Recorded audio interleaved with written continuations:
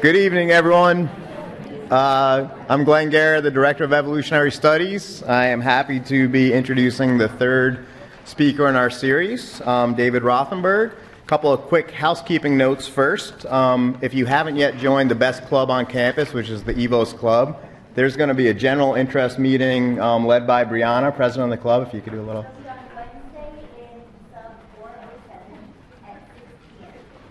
And it's going to be awesome, just the meeting itself, as well as the rest of it. So please join. That's going to be Wednesday coming up at 6. Um, and the, uh, there will be a reception as we typically have. There's going to be pizza and Evos cake. If you haven't had Evos cake yet, you are missing out. And that's going to be in CSB 110 immediately after, um, sponsored by the Evos Club. So please join us for that. Um, very, very interesting guest today, David Rothenberg. In EVOS, we like to talk about the importance of integration of different academic fields, and this is a guy who does that as much as anyone. He is a philosophy professor at NJIT. He's also a professor of music. Um, he's a naturalist. He has published several books. He has played music with lots of animals from various species and various phyla. Um, his book, Thousand Mile Song, which is about um, the music made by the humpback whale, is that right, the humpback whale? Yes. Is going to be made into a feature documentary film called Whale Stock. It's true. Isn't that awesome? That is awesome. He, um, he has been he has had a feature-length TV documentary on the BBC all about his work on bird songs. Um, he has used evolution to help us understand the nature of nature itself. Please join me in welcoming David Rothenberg. Thank you. Thanks a lot, Glenn. Thanks for inviting me. You're very lucky to have such a cool series at your school. I've never seen anything like it anywhere. All these speakers, evolution from so many points of view. Well, I've just been talking to some students in the next room for the last hour, and most of my talk is going to be about visual art and nature and why nature evolves such cool, beautiful stuff that sometimes seems really quite frivolous and useless. But my whole interest in this really began with music. So we're going to begin and end with a little bit of music here, even though I'm not playing anything today, unfortunately. But uh, I'm going to show you this little uh, video clip of the very moment I first got interested in uh, that music might teach us something about nature when I went to uh, visit the National Aviary in Pittsburgh around 6 in the morning one day playing my clarinet. And I was very surprised to see this one bird that really kind of seemed to respond to what I was doing. It was not what I expected.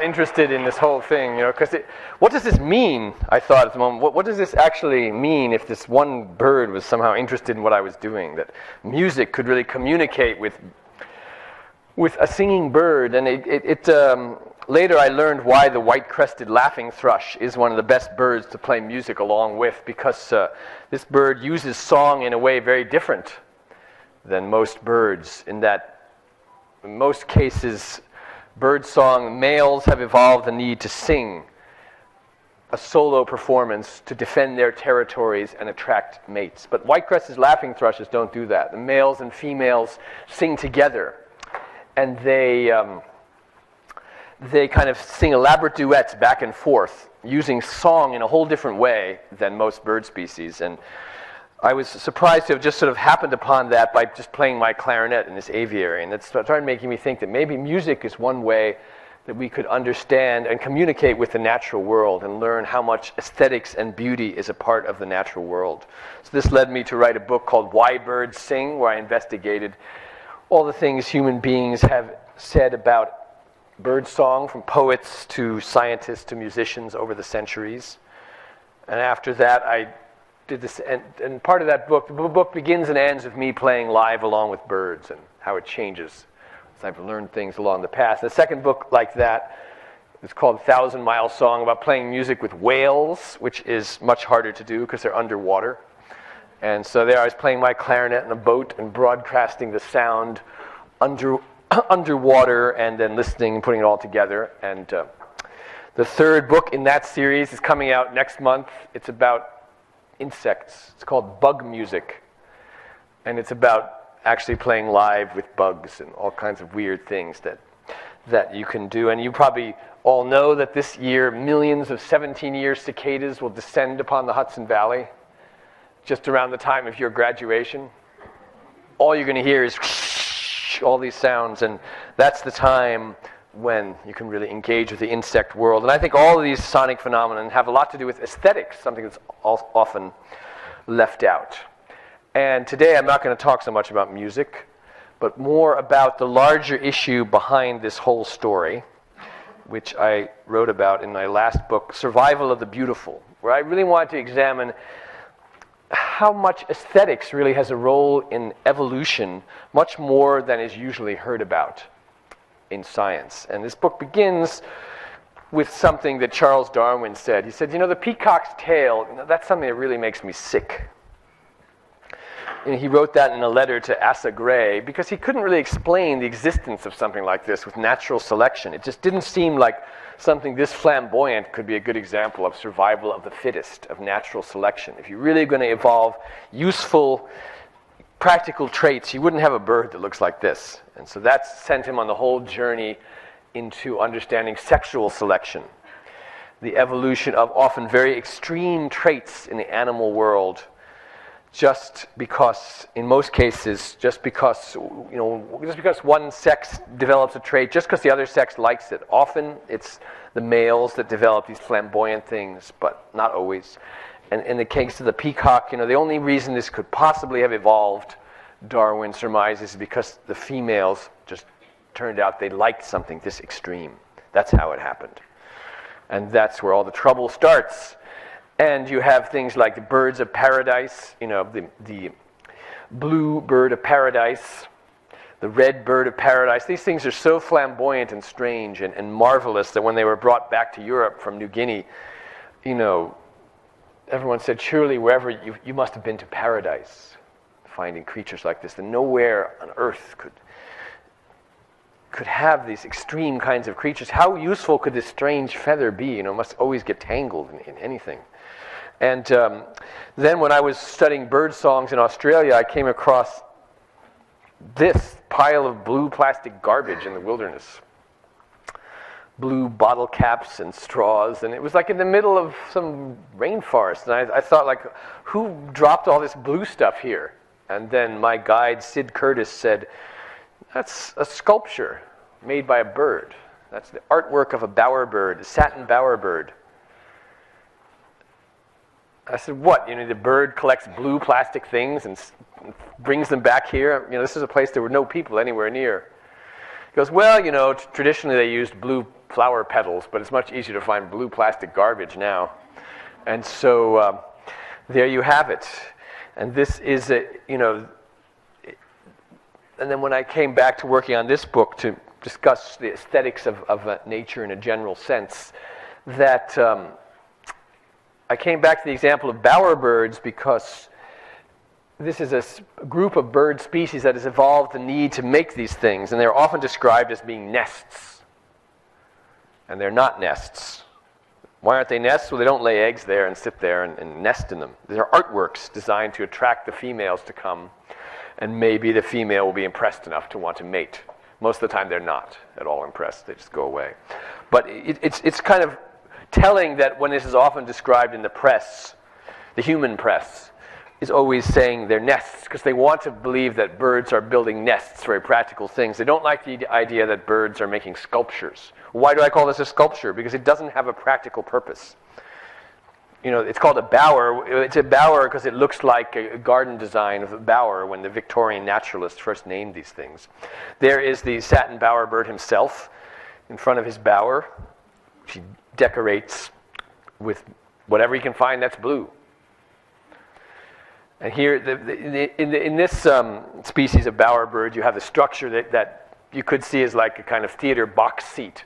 That the female comes there right inside the bower and watches. Then the male starts this elaborate display of tossing uh, different decorations up in the air, squawking and dancing around, a whole performance.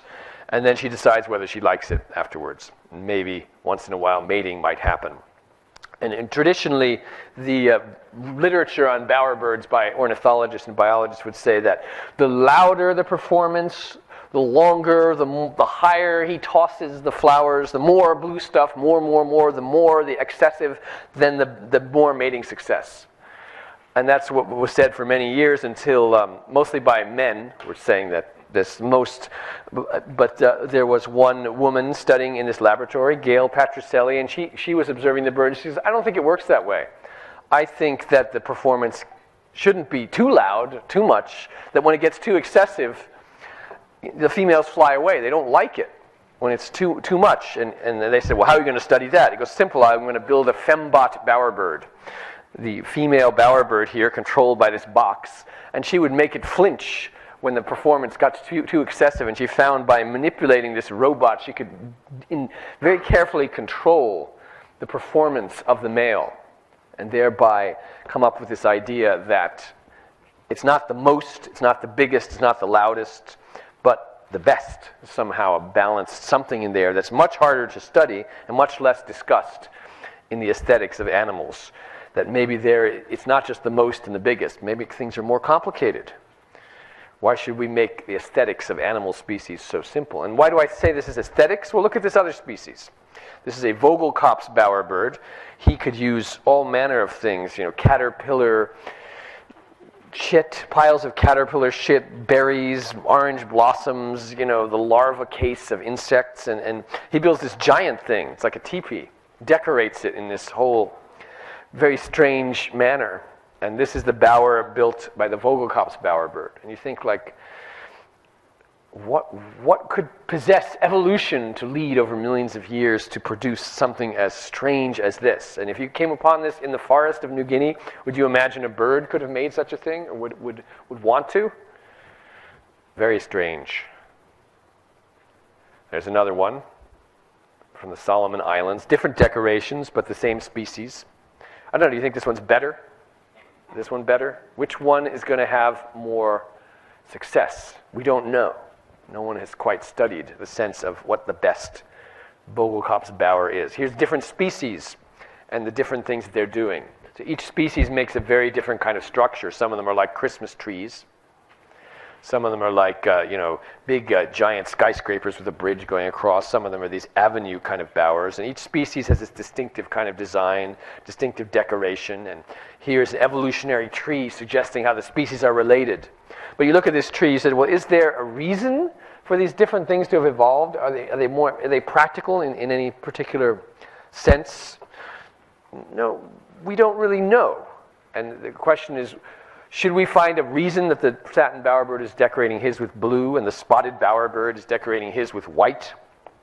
Are we going to find a reason why there's white in one species and blue in another? Or is it something arbitrary that has evolved through sexual selection that the females just seemed to prefer males who had the ability to make these, these sculptures, these artworks.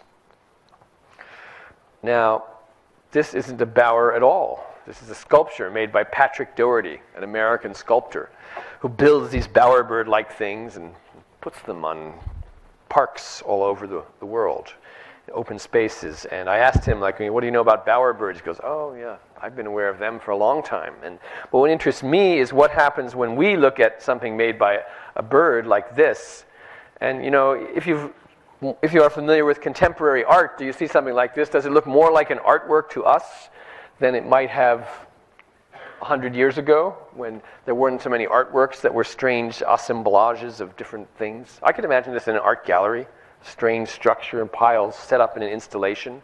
And when we have artists making things like this, do we then see the work of bowerbirds as much more like art than the original discoverers who called them bowers or called them wanted, to, wanted them desperately to be nests, be something practical.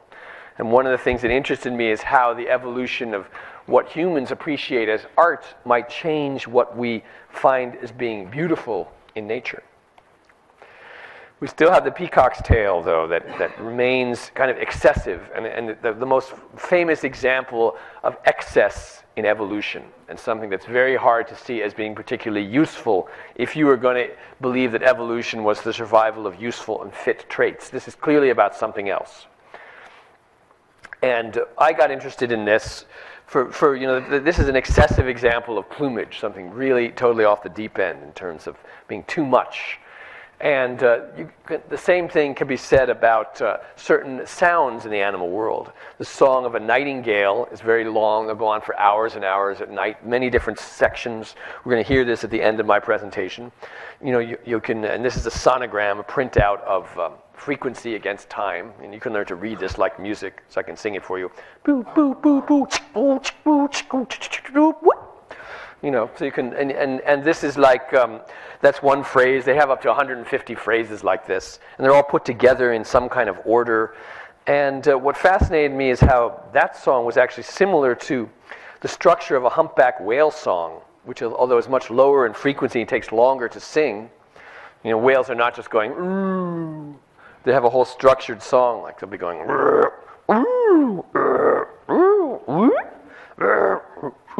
go on and on. It'll take them up to half an hour to sing this whole thing. And it has different phrases, it has different rhythms, different, different way of being put together. But something about the level of complexity and structure and difference between um, similar elements and the different ones, it's very similar to a nightingale, and yet these animals are very far away from each other on the, on the branches of evolution why are they, and they're both very unusual among their fellow species in, in having this very excessive kind of display, like the musical version of what the peacock has. Why are these things at all similar? Does it suggest there might be certain senses of pattern and form at the very root of evolution? I'm not the only one to have noticed this. I saw this artwork in London last year on the wall that someone had done an example of, you know, nightingale and whale, bird and whale together. Maybe there's some imaginary species that combines these things. But the fact is, there isn't, and yet the song is what's similar between them. But another way of looking at uh, nature, perhaps being beautiful, is looking at the vast assortment of uh, symmetry and color and pattern at, at various levels of the natural world. And this is an aspect of the diversity of life that, uh, although Darwin talked about a lot, he wasn't so involved in illustrating it. And one of his most famous disciples was the German biologist Ernst Haeckel, who, as a, as a 20 year old student, wrote to Darwin and sent him some of his um, drawings and paintings and said, I'm your biggest fan. I'm going to make your name famous all across Europe by showing visually what is so beautiful about the diversity of nature. And he proceeded to do that and spent a lot of time drawing and painting the, the diversity of microscopic sea creatures. Like this is not a geodesic dome by Buckminster Fuller, it's a, it's a, it's a tiny uh, sea creature called a radiolarian that uh, got delivered to him from an a sea expedition in the Arctic. He got these microscopic creatures. He looked under the microscope and then he drew and painted them to reveal all their beauty and symmetry and produced pages and pages of these tracts, sometimes in scientific books trying to catalog exactly what the features were of all these creatures, sometimes in art books. He wrote a book called Art Forms in Nature. That was one of the early popular coffee table books. It's always been in print since the 1880s, just sort of showing how nature is really beautiful. This is a page from it. And these are also microscopic sea creatures. And these patterns became the basis for all kinds of aesthetic movements in architecture and decorative art and were, were uh, known all over the world. He, was, he felt he was visually revealing the vast beauty and diversity that Darwin had explained some of the mechanisms, how it got to be. Here you see an illustration showing on the left a page from one of his scientific catalogs of, of uh, sea creatures, and on the right from art forms in nature. You know, on the left, these are you know a bunch of different uh, specific creatures exactly listed, and on the right, you have this kind of ornate decorative illustration of seaweed, and uh, it's sort of arranged to show how beautiful it is, and yet it's just a short distance away from what he called a scientific illustration. Here's some more, uh, you know, radiolaria, and the, the, these these illustrations were seen as like the radical, progressive artworks of their scientific age. Just like today, you see. Um, I don't know what you can compare them to. Maybe scans of the brain blown up into artworks, or, or um, or kind of the connection between scientific illustration and beauty. And uh, they specifically were the models for, you know, kind of decorative architecture of the time, like this gate by René Binet for the Paris Exposition of 1907, was specifically put forth as an example of, uh, you know, the, the future of art, nature, and science coming together. Like the ideas of Ernst Haeckel turned into a building. It was a temporary building, so it's not there anymore. You see the Eiffel Tower in the back. That's still there. And uh, as he created more and more of these illustrations, Haeckel um, uh, got more and more abstract and wild looking. This is like, you know, what is it? It's not, it's not really a, an organism anymore. You know, he's moved beyond from this, uh, these seaweed things to this kind of meditation upon tentacles. And, and this was the beginning of the 20th century. And this, this, these works influenced a whole many generations of artists. And uh, Max Ernst liked the gooey side of Haeckel, kind of a surrealist creation here. And uh, you know, he specifically said that Haeckel's more symmetrical kinds of half nature scientific ideas were influencing his more abstract forms here. Can't tell what they are. This is Victor Horta. He was an interior designer it's a famous uh, building in, in Belgium where, where he was turning these, these Haeckel ideas into, excuse me, into um, kind of decorative designs in the, and a whole generation of Art Deco buildings and chandeliers and furniture was inspired by, by Haeckel's sense of art coming from nature. Giacomo Balla did this um, kind of vision of the sun and moon building on these ideas of symmetry, things from nature.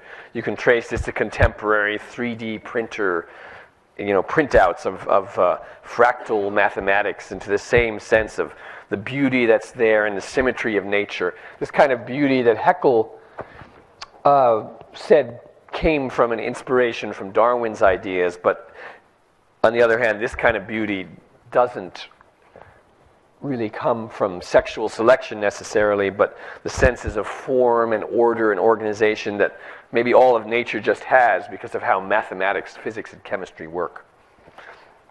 So, what does that say about this problematic peacock's tail? Is that, you know, you'd think that Darwin would suggest that um, selective forces are kind of arbitrary. A mutation begins, anything could be selected for, anything goes, anything could happen maybe not anything, maybe just anything chosen from a series of possibilities of, um, you know, what senses of symmetry and form are actually out there, what can happen. And, you know, the kind of things that Haeckel will be interested in are seen in all levels of nature, from cellular things, microscopic, different levels you see you see repeating forms, shapes. It doesn't really matter what these things are, except that they're, you know, certain senses of circle and pattern and, and order that's never exact, kind of irregular but regular. All these things people point out as being somehow natural. And uh, are the possibilities of what kind of feathers could form could it really be anything, or are they chosen from various possibilities that nature offers?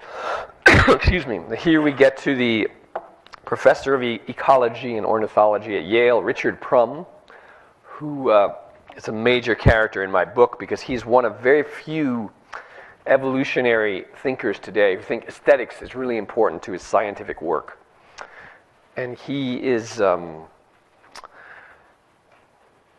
in the course of as I was researching the book, he himself was getting much more interested in these topics and really trying to, really finding that the history of aesthetics and philosophy was helping him in his, in his scientific endeavors. And he, um, he developed, uh, building on some works of, of Alan Turing, one of the pioneers of computer science, and famous for the Turing test, which enables us to say whether a computer could be intelligent or not, was also worked on activation, inhibition, mathematics that explains how pigments work, you know, what, why leopards and tigers have certain kinds of spots and stripes.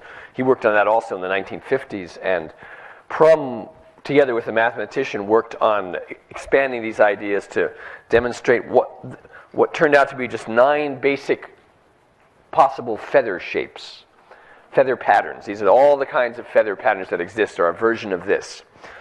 And then they were able to, because of advances in genetics, advances in genetics is really what has brought sexual selection back into the discussion among biologists today and making it much more a subject of study to figure out how what genetic information leads these feather types to appear. And on the basis of that, they became the first group of scientists to accurately figure out what colors and patterns a dinosaur had. This is a feathered dinosaur, Anchiornis, found in China. And, and because of advances in genetics and this kind of aesthetic approach that Prum thought was important, this is the first accurate depiction of what color a dinosaur looks like, even though we've seen um, hundreds of colored dinosaurs. They've basically been all made up until this. And so this got a lot of attention, this discovery. And here's the Ralph Steadman version which is kind of just expresses the, the, the greatness of this crazy discovery. And, um, but then it's worth noting that Richard Prum really is the one biologist who decided that, you know, science can learn a lot by, by paying attention to Marcel Duchamp and this famous artwork called Fountain, which was, was uh, put out exactly 100 years ago in the Armory Show in New York when uh, the organizers of the show said, any works will be accepted into our show. Can you imagine if an art curator said that today? What they would do? We'll accept anything. And so Duchamp said, oh, yeah, I'm going to just pull this urinal out of the bathroom and bring it there. Let's see what they say to that. And so um, lots of people were angry. And he signed it R. Mutt, which is nice. And uh, lots of people were very angry by this, but uh, over the years, it's been often discussed as a very turn, a great turning point in, in the history of modern art. And Prum got really interested in this when he read the article by the philosopher Arthur Danto called The Art World that talks about this artwork and Andy Warhol's Brillo boxes. And this is a philosopher and art critic. He was writing that in the 1960s. By then, these works were discussed quite a lot. And uh, and he said, Well, why are they important when a lot of people don't even think they are art? What's important about them? And he decided that what was important about them is that there is such a discussion about them going on. That the work is only important because there's a whole lot of people discussing their importance. And then Prum, as a biologist, said, aha, that's how nature works. That's how sexual selection works. It's only art. It's only beautiful. The peacock's tail is only beautiful because the female peahens have evolved the need to prefer it. There's no art in nature without the evolution of aesthetic preference. And so biology has a lot to learn from the philosophy of art to begin to take this seriously because it seemed like, you know, even today, biology is not taking the aesthetics of, of peacock's tails and bowerbird creations and bird and whale songs very seriously. They're trying to say something that Richard Prum really didn't like. They're trying to say that all of this is useful, it's all an indication of fitness. That uh, the peacock is showing that He's got this giant tail. He can lug it around. He's strong enough to carry this useless thing around. This means you should mate with him because he can, he, he can handle this huge handicap, this extra thing. And, and Prum didn't like the fact that this idea was gaining currency in biology, when in fact that it's avoiding the very aesthetic nature of this phenomenon. It's no accident that the peacock's tail says beauty to us beauty, excess, tremendous you know, symmetry and, and, and, and ornament and all these things that get an aesthetic reaction in humans are also what's going on in the birds. And that's what, need, what needs to be studied the evolution of um, aesthetics as part of biology. And so in recent papers he's published, he's tried to get people that take this seriously and says that there has to be much more research of the aesthetic kind in trying to understand sexual selection. Like, what's the best Nightingale song? Do we have any idea? Too much of writing in, in, in the birdsong science says, oh, it's the longest, it's the loudest, the one with the most complexity. And yet, the study that uh, Gail Patricelli did on, on bowerbirds said, why are we going for the most, the biggest? Just because it's easiest to measure. But you know, her, she demonstrated with bowerbirds it's much more nuanced and complicated than that. And every species that has this kind of sexual selection has its own aesthetic sense that's evolved. And if we take this more seriously, we will better understand how nature is working. By, by instead of denying aesthetics in nature, by recognizing it's there and trying to figure it out. So, this is one of Richard Prum's experiments, which somehow is very Duchampian to me the, the ornate, strange mating apparatus of ducks. The duck penis and vagina, very strange creations. I think Duchamp would have liked this. This is outside Prum's office next to the picture of the, the fountain artwork, so you can go to Yale and see it, the Peabody Museum. So, but you know, sexual selection, peacock's tails, flamboyance, females having all the deciding power. Darwin said all these things in The Descent of Man. They were very unpopular in the 19th century. What do you think this is a painting of? What is it? Yeah, it's called Peacock in the Woods by Abbott Thayer. And this painting is in the Smithsonian Museum of American Art in Washington. And he painted this as part of a book that he wrote together with his son trying to argue that, you know, this sexual selection idea is completely ridiculous. Everything in nature that evolves is for a purpose. Every coloration of every animal is for camouflage. So the peacock's tail is to actually hide the peacock in the forest. So this is a didactic painting making an argument. Painting as scientific argument. Peacock hiding in the woods. And his book, which you can download for free, Google Books, is called Concealing Coloration in the Animal Kingdom. Everyone should read it. It's really fun. Flamingos are pink because they're disguised at sunset and sunrise. This one I find more convincing the wood duck, the most beautiful, um, kind of flamboyantly colored duck you might see around here, is actually all a matter of disguise. You can't see him against the pond in light. And this is a, you know, kind of convincing painting. And it's true Wood ducks are both beautiful and hard to see at the same time. They're both flamboyant and disguised, which suggests an aspect of this story that maybe is more complicated. In general, biology doesn't promote this idea that every animal, and even in the time in 1909 or so, they were not impressed that um, every animal coloration was a form of camouflage. However, people that were impressed was the Navy. And the entire use of camouflage in the military actually begins with this book. The book was taken very seriously by the military, and believe it or not, they painted ships in World War I to look like this, so they'd be harder to see. This is called dazzle camouflage. The USS Leviathan, you know, and you think about it, on the one hand, it's totally ridiculous, but just like the wood duck, you can't quite tell where the duck ends and the background begins. Sorry, I'm losing my voice as I get more excited about this. But you can see that with this ship, you can't tell how big it is. Like, is this some sort of little monster here? You know, like a crocodile. Where's the, where, where's the ship going? What direction?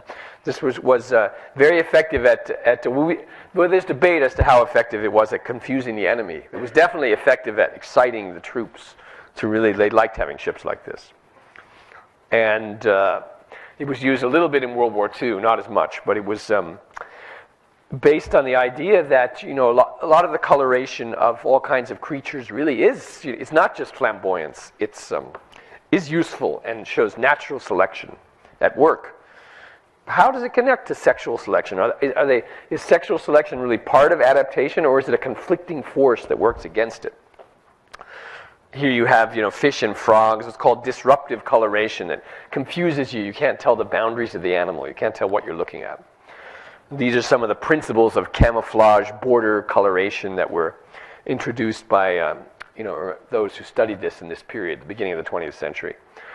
But no animal is better at this than the cuttlefish. It's kind of squid. And they give an example of, again, the kind of extremes in, um, in nature, in life, that kind of confuse these theories and makes us wonder if maybe we're kind of all on the wrong track. This is a, a small squid. And they study them in Woods Hole. You can go there and study cuttlefish. You take this cuttlefish, put it on different backgrounds, and it changes its coloration to blend in. And it doesn't do it automatically. It can decide whether to do it or not. You could call this cuttlefish abuse here, putting one on a checkerboard, seeing how well it can do. And uh, you know, grades of disruptive coloration were come up with, and they um, here's a, a, different species, a bigger one, kind of in disguise on, um, you know, in Australia. But what's really remarkable about these guys is if they want to turn their camouflage on, they can. If they want to turn it off, they also can. Sometimes they put on bright pulsing displays, like a whole light show. They really look like uh, animated science fiction creatures. And you can see many films of this happening online and and sometimes they can put one half of their body in disguise, make the other half put on a weird display. They're colorblind, they can't see any colors. So until a few months ago, it wasn't known how they could possibly respond to the colors, but then it was, it was uh, recently a paper published saying that the, the, the, the color sensitive cells on their bodies called chromatophores, they're able to directly respond to colors. Like that's where, through the cells all over their body, they can kind of see in a way that their eyes are not doing, and no, nobody knew about that before. So the cuttlefish sort of uh, puts this real sense of confusion in this issue between coloration as display, showing off, excess, and adaptively fitting in. And so, um, you know, the people who worked on camouflage in uh, World War I, many of them were artists, put artists to work in the military. One was Thomas Hart Benton. It's one of his paintings he, uh, you know, this part of the book goes into a whole discussion of how this study of camouflage, which began as an attempt to explain something about nature, becomes, becomes a principle that leads to abstract art. Thomas Hart Benton made paintings like this, but then he, be, he famously began to teach classes in how to become an abstract painter, even though he himself wasn't one. So, here in this illustration from a magazine article, he shows how you can take a real landscape, abstract from it, and get patterns and motion. One of his students was Jackson Pollock, who then made art even more abstract, but was very interested in camouflage and is famous for disguising his name and other things inside of paintings like this. His name's supposed to be in this painting. It takes a lot of bending to actually see it, but I think, you know, maybe it's there. But that's how. So, so the idea that abstraction can come out of. Uh, paying attention to the colorations in nature that the, you can trace this evolution of artistic thinking through camouflage all the way to abstract art and now you have the sense of, of um, I should have stuck one more Pollock in there to show the complete craziness of color that has become famous. And uh, but instead, I have a few pictures of photographs that artists had taken, sort of random artists who happened to post them online and say, "Isn't this like a Jackson Pollock?"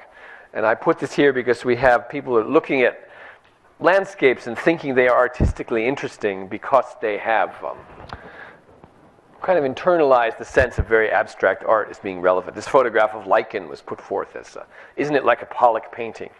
And what interests me here about this, and I think what should interest scientists, is because we've had a direction in art that takes um, abstract colors and shapes seriously as aesthetic experiences, we can see new senses of order and pattern and imagine something like this as being beautiful and interesting, where in perhaps previous centuries we might not have appreciated it as much.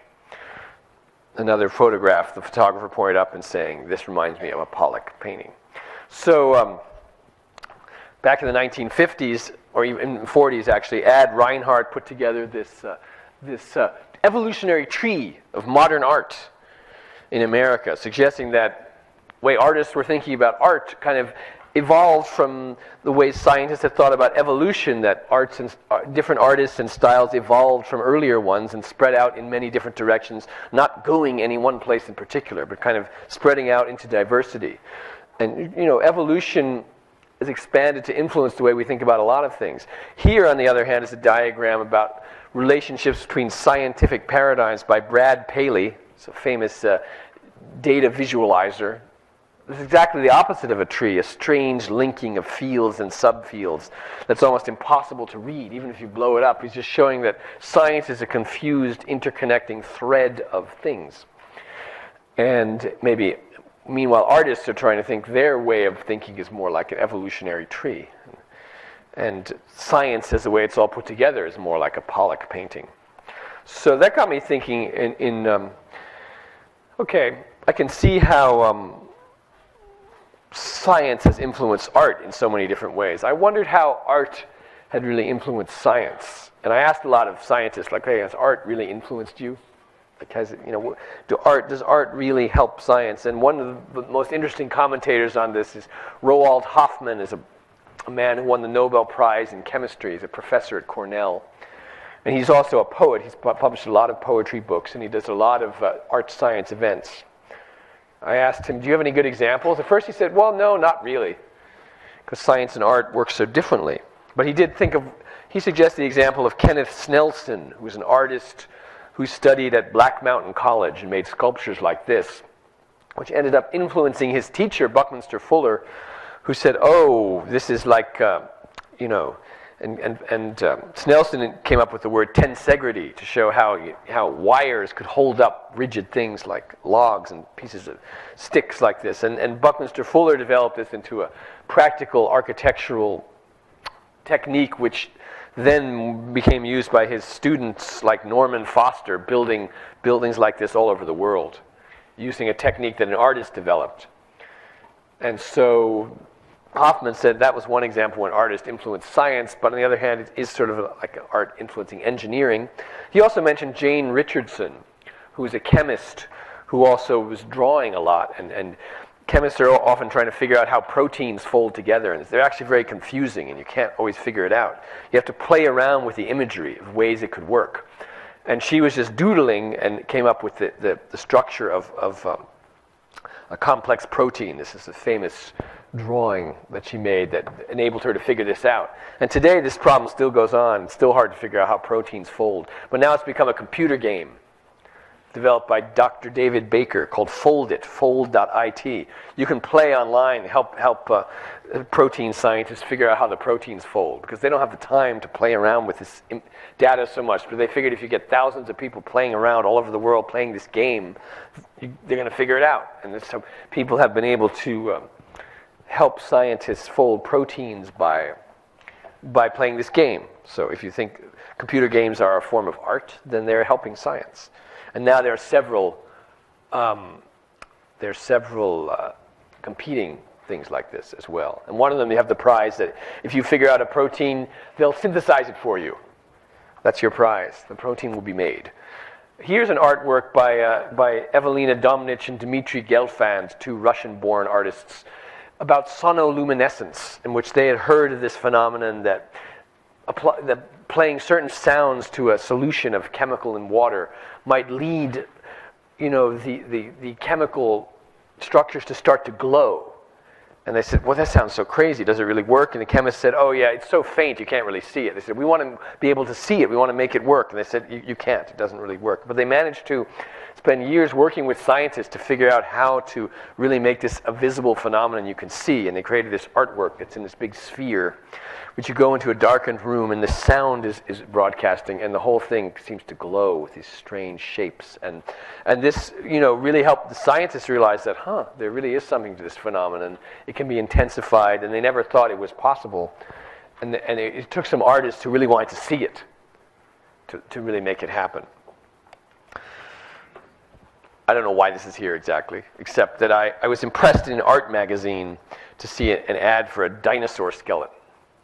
just for sale. Starting bids, you know, one million euros, and uh, right next to to um, that in it, every other page was an ad for artworks and art exhibits, and that somebody was presenting a fossil as something that we might consider as art, or at least be as valuable as art to the kind of people who might be buying expensive art. Then, of course, there's the famous works by people like Damien Hirst. There's just a big shark inside of formaldehyde. A lot of people don't like this artwork, but it exists, and it is taken seriously and is. Um, is part of the world art. And as, as Arthur Danto taught us, taught us, these things are only important because people are arguing about them, wondering whether they're art at all, and buying and selling them, and valuing them. And nature works that way. Our interest in nature starting to work that way. And um, I think I will stop this presentation at this point, which began with uh, music. Oh, one more thing comes afterwards. It began with you know why I got interested in using music to approach nature, and then why I think there's animals evolved to make art, and uh, why art is starting to help us change the way we see order and pattern in nature, and so we'll, I think we'll increasingly end up helping scientists. I, I, talked about how um, the uh, you know that the humpback whale song and nightingale song are like each other, and, and you might not have believed me. So I thought I would play you these songs and other similar. And you'll look at a sonogram, which is a, is a visual representation used by science to make complex sounds comprehensible. So here we go. Beginning of a humpback whale song.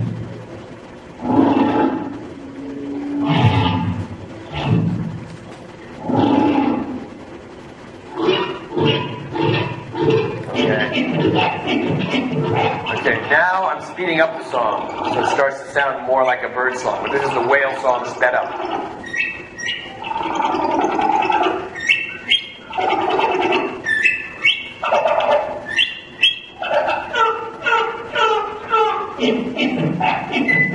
Okay, now a thrush nightingale song comes in.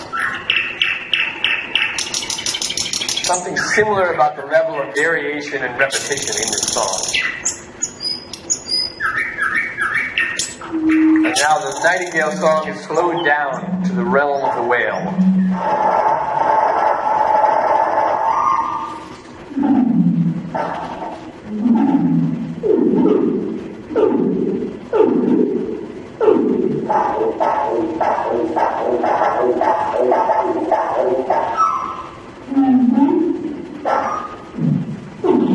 And now you kind of hear them overlapping together. So you think about is there unusual similarity here, or are they just totally different things? I feel like I hear they're related to one another, that there's a strange evolutionary convergence that's happened here towards these kinds of structures, these kinds of extreme and organized animal performances.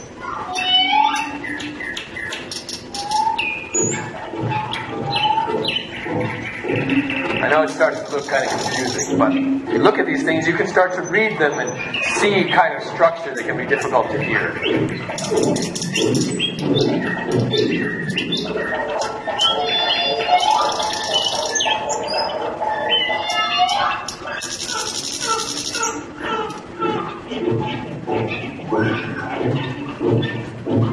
So I, I end with the animals speaking for themselves.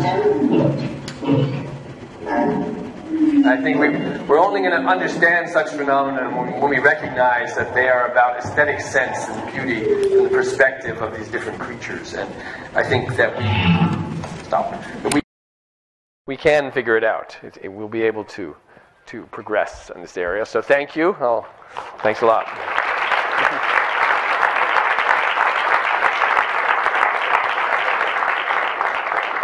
I'm happy to answer whatever questions I'm given time to answer now or in the uh, magic pizza and cake reception.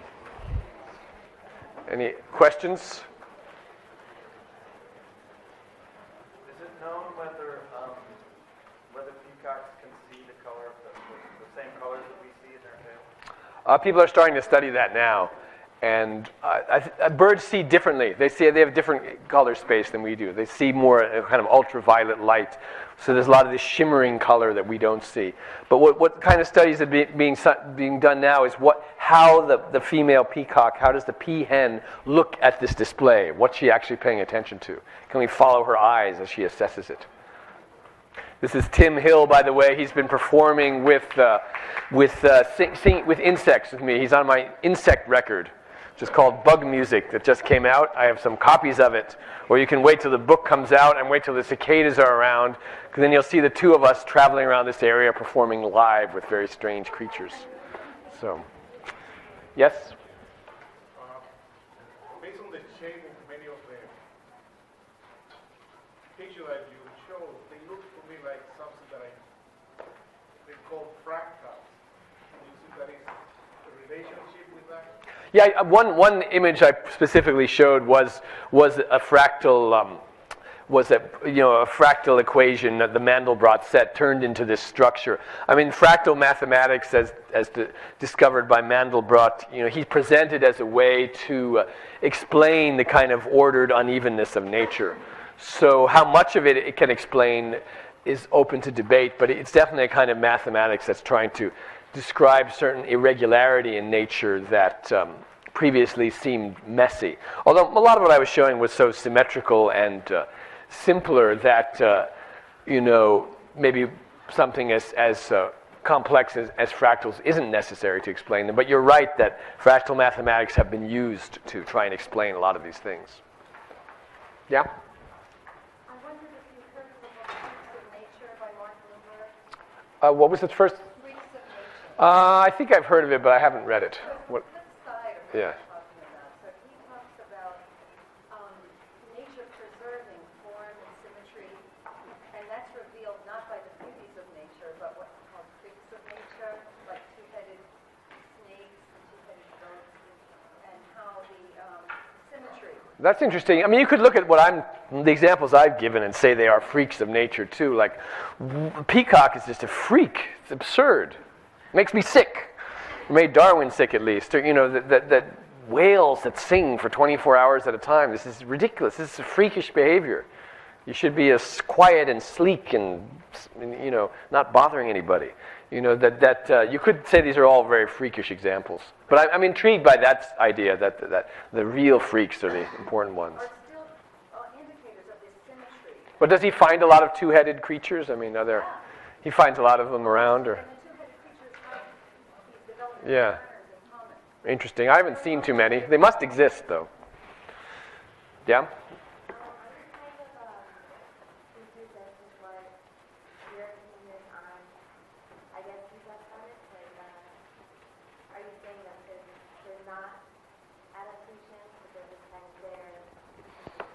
I'm saying they evolved, but not because they are useful for anything except the fact that they're possible. Like, it's not usual for a bird to be as flamboyant as a peacock, but there are a handful of cases where this happened, where there was enough extreme sexual selection to push something very crazy and not useful. And that you have to, we have to realize evolution that isn't just survival of the fittest, it's survival of the weird, the cool, the interesting, you know, the freakish. All kinds of things can get through. Sexual selection is like the mechanism that makes it possible, but it may not be the only mechanism that makes it possible. Because you have these freakish things like these cuttlefish that change colors and things. And, and uh, that example seems like a real mix of, you know, I think if you wind evolution back and st- start it going again, you're not going to get the same creatures we have now. It wasn't inevitable to get what we have. These are possibilities that made it through against all odds. You know, maybe everything we have is, you know, are, are freaks of nature. Human beings certainly are. We're totally crazy. We're not very adaptive. You know, we're. You think of all the kinds of animals that have lived on Earth. You know, we have very strange strategies for survival. Look, we have to build these buildings. We, we have to write books and do all this crazy stuff. You know. Yeah. Um, I, I, I think I'm the only person from the art department here. Is there any- anyone from the art department? And I, I feel it's a terrible omission that uh, we didn't, you know, there was some sort of joint thing with the art department because, um, uh, it sure, it sure is relevant. I was gonna bring my, my drawing class too, um, but, uh, thought, oh, this is some little fringe thing that only I'm interested in, but I think this is so relevant for, you know,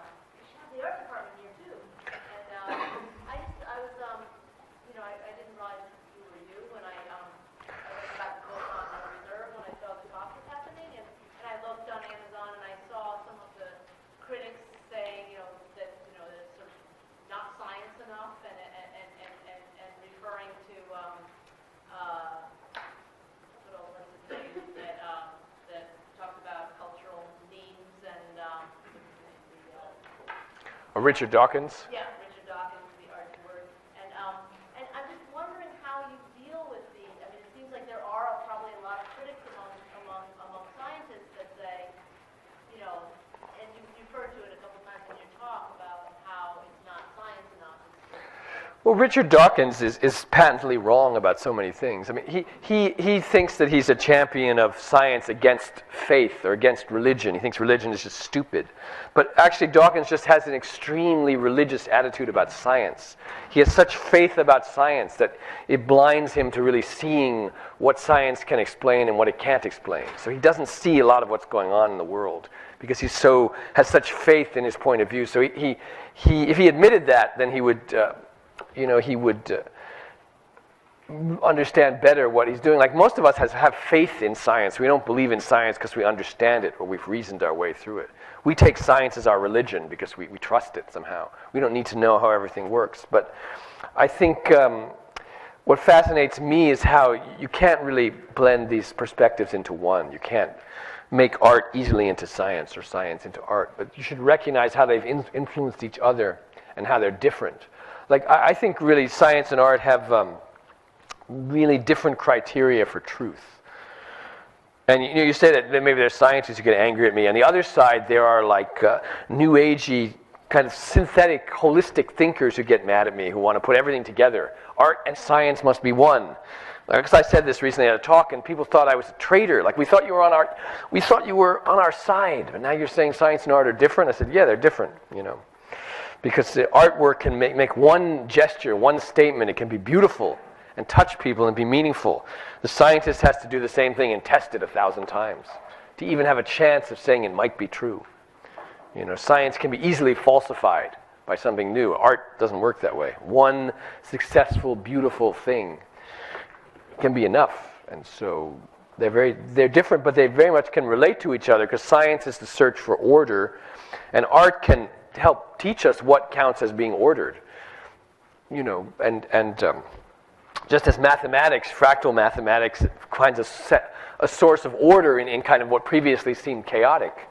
Abstract art, in the same way, enables us to see as something beautiful, something previously seemed chaotic and um, of no interest. You know, so these things really should be, you know, more art students should be here.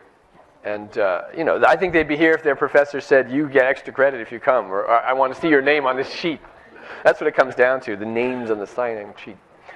But, um, you know, I think, you know, you know, these connections are very important, and they should, they should be explored in more detail in many different ways, and, but not, not be made too easy, not be made too, too easily blurred together.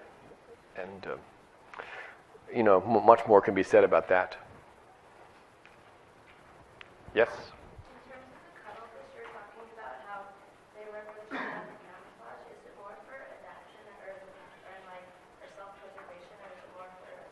They do so many weird things, changing color on their body. They do, they do enough uh, weird things that my my friend Jaron Lanier, who invented the term virtual reality, said it was really invented by squid, by cuttlefish. They are the first avatars and virtual beings because they change, they communicate with each other by changing their shape and color, doing crazy things. Like, for example, uh, some of the things they do are adaptive in very strange ways, like a um, a uh, if, uh, if a male sees a male trying to mate with a female and he wants to get in there, he'll suddenly change himself into a female. So he looks like a female to distract the other male and run in there and mate really quickly.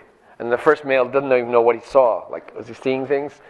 And then on the other hand, they will sometimes um, just put on this weird display as they're swimming along, like putting on lights and colors. You don't know why they're doing it. And um, you know, it's a very strange phenomenon, not very well understood, but, you know, not surprisingly, scientists are out there trying to figure out can we learn how this works so we can do it ourselves for like magic military camouflage suits that do all these things. So cuttlefish are would be quite fun to study, and they're- we don't know much about what's going on, but people are trying to figure it out. Yeah. Uh, parts of them are sometimes, yeah. I mean, one interesting thing about cuttlefish and art, I have to say, is uh, there are a lot of videos and photographs of um, cuttlefish. Endlessly put together by scientists, a lot of them online. But there's at least some one scientist or somebody thought that no, you know, people really have to pay attention to what's going on. And, and, and I don't know who this person was who decided that we had to create a cuttlefish pattern atlas of about 1,200 pages, all black and white pencil drawings done by graduate students in Italy at the University of Florence. And it's this huge book of pencil drawings, all black and white, of these phenomena. And he says that, you know, it's only by drawing that we can really understand the, this phenomenon. And despite all these colors, and to understand the patterns, they all have to be drawn by hand and published in this giant book. I, I, I, took it out of the library. I was amazed that this thing exists. It's really somebody is suggesting that science must combine observation with replication of, of patterning directly rather than all this photography and video and magic color stuff. We've got time for one more question and then the EvoS takeaways. Okay. Somebody in a different part of the room back there. Did you um, discover anything you didn't know cool about humans and the use of art and movie in humans from learning about it? Uh, it's a good question. Absolutely. I mean, all throughout it, I, I, I think I learned, well, personally, as from all the music I've done with different animals, how much the animal world seems more accessible and meaningful if you imagine that many of the sounds of animals are music rather than language. Rather than a language that we don't understand, that you want to translate or decode. If it's music, nobody understands music anyway. We don't know why music is so emotionally meaningful to us, but it is. And the same thing can suddenly happen with these mysterious sounds from, from the world around. So that's one thing. All right. Thanks so much for inviting me.